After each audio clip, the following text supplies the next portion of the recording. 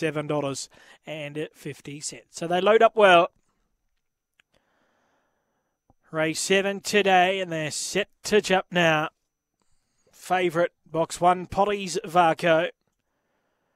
They're ready.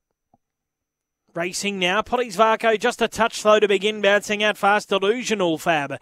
And he'll come across and lead it at the first turn ahead of Zoe's intention and moving up now. Polly's Varco the outside. Next Ryben Bill. They're followed then by Empowered. St. Beth, Zipping Melody and Belfast Daughter out the back.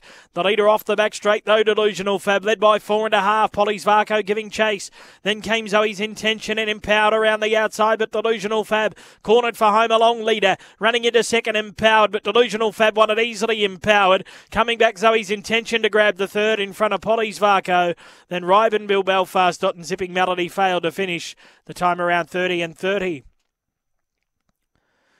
Winner here, number six, Delusional Fab. So to bounce out fast. Straight to the lead. And that has been simply too fast for them here, number six, Delusional Fab beats home seven, Empowered.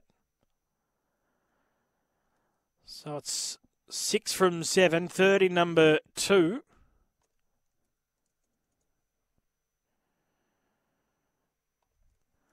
And that, of course, was Zoe's intention. And number one runs fourth. And that is.